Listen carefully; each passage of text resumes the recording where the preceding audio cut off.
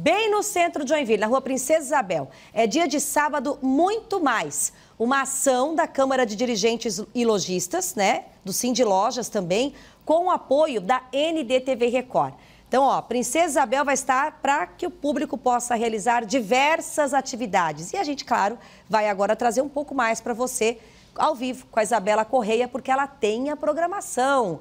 Isabela, muito boa tarde. Que legal que você está bem aí na rua para poder mostrar para a gente que ela amanhã vai estar tá tomada não por esses carros não, né? Por barraquinhas, gastronomia, muita gente.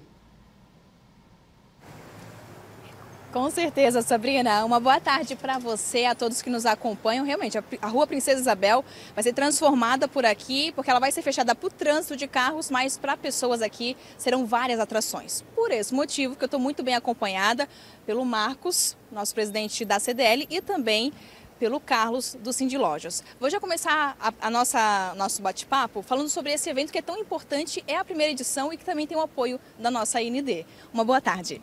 Boa tarde.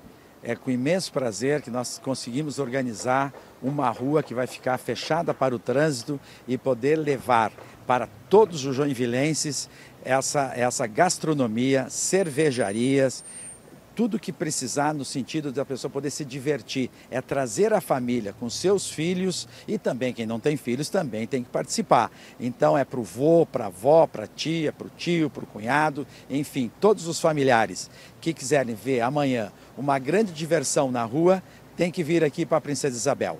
Por quê? Porque o SESC também estará presente e ele vai trazer o quintal do brincar que é onde contempla várias brincadeiras de cultura até a guloseimas. Então é isso que é importante nós trazer a família joinvilense para o centro da cidade, mostrando junto um Natal que, vai, que está muito bonito.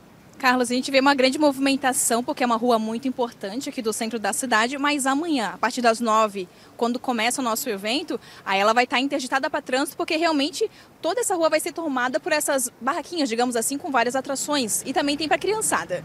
Exatamente isso, vai estar totalmente interrompida. Então não vai passar nenhum tipo de automóvel. E o que é importante, também vamos ter restaurantes aqui que vão estar abertos e servir o dia inteiro. Então a família não precisa se preocupar, porque além dos restaurantes, ainda vai haver as barracas também, que vai ter a gastronomia. E cervejaria, quem que não gosta de tomar um chopp com calor desse? Então esse é o momento ideal para vir para a Princesa Isabel. Carlos, muito obrigada pela tua entrevista. Agora eu vou falar com o Marcos, porque também tem essa parceria da CDL e reforça ainda mais também trazer mais pessoas para o centro da cidade, para o nosso comércio de rua, não é mesmo? Boa tarde. Boa tarde, boa tarde Sabrina. Exatamente. O que nós queremos é que a população volte para o centro, volte a habitar, volte a compartilhar com a família o centro da cidade. E já aproveitando, já para antecipar as compras de natais, a, a CDL fez uma promoção gigante aí, com quase 100 mil reais em prêmios. Então a gente convida a população para voltar para o centro, para consumir e aproveitar e antecipar suas compras de Natal. Marcos, muito obrigada pela sua entrevista. Então, né, pessoal, tá feito o convite.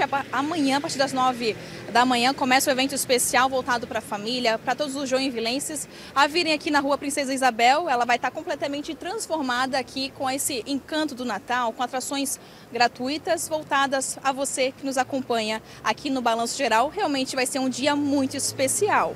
Sabrina, tá feito o convite, volto contigo aí no estúdio. Daqui a pouquinho estamos de volta com mais informações da nossa Joinville.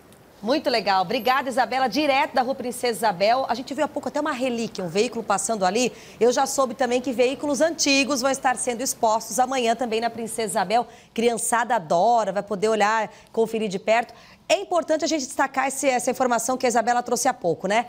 A rua interditada amanhã. Então, se você vai para o centro, está programando passear, dá uma segurada, porque nesse trecho aí, ó, e aí o entorno acaba sendo afetado também. Os veículos não estarão passando, porque é um evento e tanto que vai acontecer. Serão também 400 senhas, né? Para quem quiser tirar alguma informação aí sobre identidade, dentro da galeria do Cindy Lojas. Então, vai ter essa parte de cidadania também e muita descontração, gente. A ideia é fazer com que a cada ano que passe, ou quem sabe, né, de tempos em tempos, a gente tenha um ponto tradicional. Princesa Isabel fechada, como outras grandes cidades possuem as suas feirinhas, a gente também tem uma nossa aí. Muito legal, a iniciativa tá lançada, você é convidado, avisa aí no grupo do condomínio, grupo das mães, para levar a criançada para um sábado bem diferente.